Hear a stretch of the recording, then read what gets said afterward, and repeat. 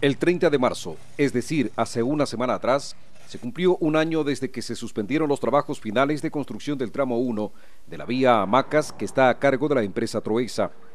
Esa decisión se adoptó por sugerencia de la consultora externa del proyecto ICF cuando la colocación de la carpeta asfáltica se encontraba en el kilómetro 55, es decir, a 10 kilómetros de llegar al puente sobre el río Pastaza, en el límite interprovincial con Morona Santiago, donde termina la obra.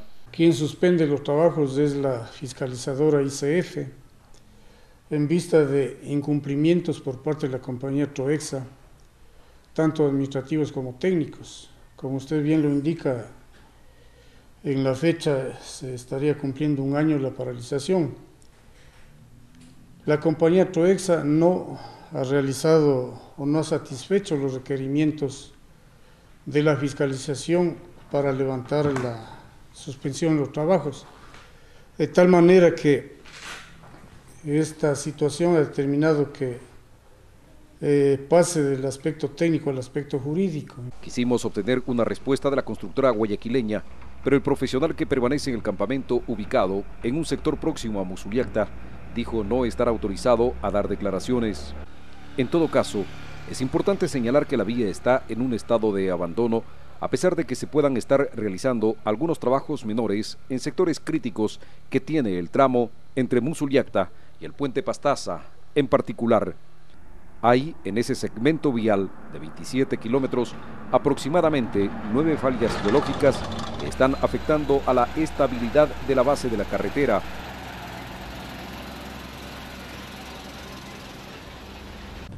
Para el director de Obras Públicas en Pastaza, quien está cuatro meses en gestiones, dice que no son precisamente fallas geológicas las que están afectando a la vía yo técnicamente no estoy de acuerdo con eso, no sé quién bautizó en esa forma. También tenemos el mismo problema en el, al otro costado, la vía del Tenal, también llaman falla geológica.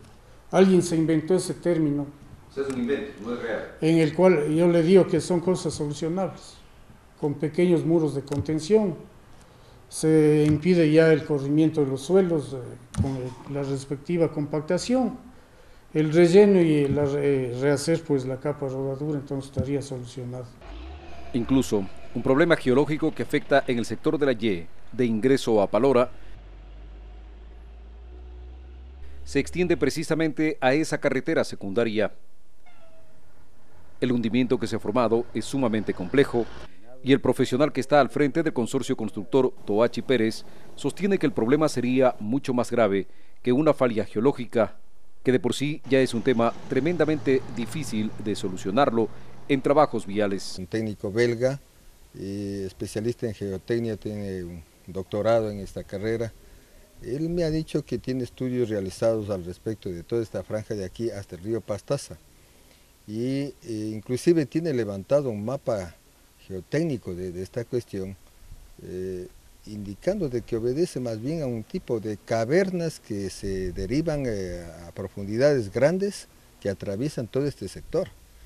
Entonces, eso es algo más complejo todavía que una falla geológica, porque la falla geológica usted le puede variar o cambiar eh, direccionando la vía por otro sector a fin de evitarle.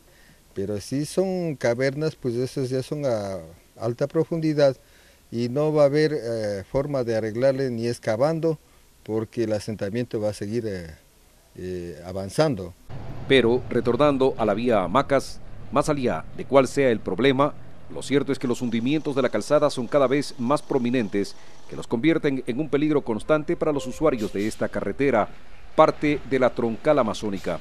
Oh, bien feo porque realmente cuando llueve es más peligroso porque... ¿Deberían arreglar esto? Ok, porque igual no hay ni señalización de tránsito, no hay nada porque... Bien peligroso, sí. Y aquí esta vía está descuidada, abandonada, no hay nada. Ah, bueno, pues la carretera está en mal estado desde, desde Simón Bolívar hasta el puente Pastaza, que ya se está levantando el pavimento en varias partes ¿Está en estado de abandono la vía? Pues sí, parece que está en estado de abandono, está muy deteriorada, está muy peligroso. Se ha hecho una evaluación eh, de la parte deteriorada, como usted dice, y es apenas de un 3%.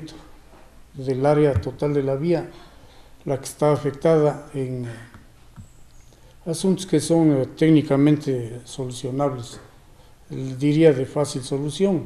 Vecinos de los sectores donde se presentan esas falias, geológicas o no, dicen que han sido causa de varios accidentes. De rato mismo empezó a hundir esta carretera. ¿Está abandonado esto? Sí, ya está abandonado. No, no arreglan también. ¿Qué Sí. tiempo que no arreglan? Ya es más de seis meses se va sin arreglar. Y está feo así, ¿no? Sí, está feo. ¿Ha habido accidentes por esto? Sí, ha habido accidente por esto. Como quisiera que nuevamente reparen para que no haya más accidente. ¿Qué accidentes ha habido? ¿Qué ha pasado? Ha caído tres carros y había un choque a una señora con todos sus hijos, con todo su hijo. El representante de Obras Públicas dijo desconocer esos hechos. Bueno, yo estoy apenas cuatro meses eh, aquí en el puesto y en esos cuatro meses no he tenido conocimiento de lo que usted indica. Para la Troexa, la para le significa graves problemas económicos. Sus trabajadores y otros acreedores de deudas pendientes incluso han tenido que tomarse el campamento y sus máquinas para exigir sus pagos. Una medida de esas se realizó el 19 de mayo del año anterior. Lo cierto es que la terminación total de esa carretera está en el limbo para utilizar un término en moda.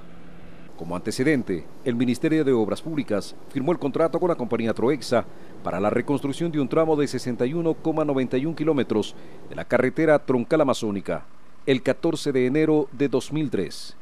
El valor convenido fue de 9,5 millones de dólares, de los cuales Obras Públicas entregó un anticipo del 30%, esto es, 2,8 millones de dólares. El plazo de entrega inicial era de dos años. Esto quiere decir que la reconstrucción de esa carretera lleva en ejecución nueve años y no se termina.